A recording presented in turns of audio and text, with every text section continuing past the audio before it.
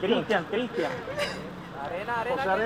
La gobernación del departamento del Cesar ofrece hasta 20 millones de pesos por información que den con la captura de los responsables del atentado a una patrulla en Aguachica que dejó como saldo a un policía muerto y otro herido. En el día de ayer, en la vereda Corrales del municipio de Aguachica, la patrulla atendiendo un llamado de la comunidad eh, se traslada hacia ese lugar eh, en el sector de la invasión de Jerusalén. Atendiendo eh, ese llamado, la comunidad manifiesta que hay unos sujetos armados en moto,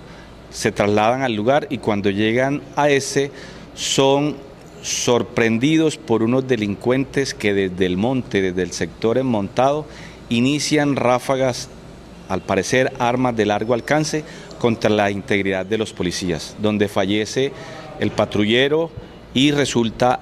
su compañero de patrulla eh, lesionado. Afortunadamente no es una lesión de gravedad. Se trata de José Javier Arenas Fuentes, quien falleció de manera instantánea al recibir los impactos, y el patrullero Cristian Andrés Montes Cruz, el cual se encuentra herido y es sobrino del alcalde de la mencionada municipalidad, Henry Ali Montes. Entonces hacemos un llamado desde Aguachica, desde el sur del Cesar, a las autoridades nacionales, señor presidente de la República, al señor ministro que estuvo aquí hace un mes,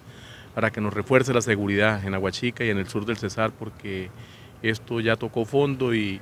estamos mirando que a los alrededores nuestros y ya en el casco urbano, porque esto sucedió a cinco minutos del casco urbano del municipio de Aguachica, eh, hay grupos armados al margen de la ley. Hemos podido establecer que los sujetos que realizaron ese vil atentado contra la integridad de los policías son miembros del ELN que pertenecen al Frente Camilo Torres de que delinque en el sur del departamento del Cesar. El patrullero José Javier Arena Fuentes era natural de Maicao, Guajira, tenía 33 años y llevaba 9 años y 6 meses en la Policía Nacional. El patrullero Montes Cruz se encuentra estable según los reportes médicos.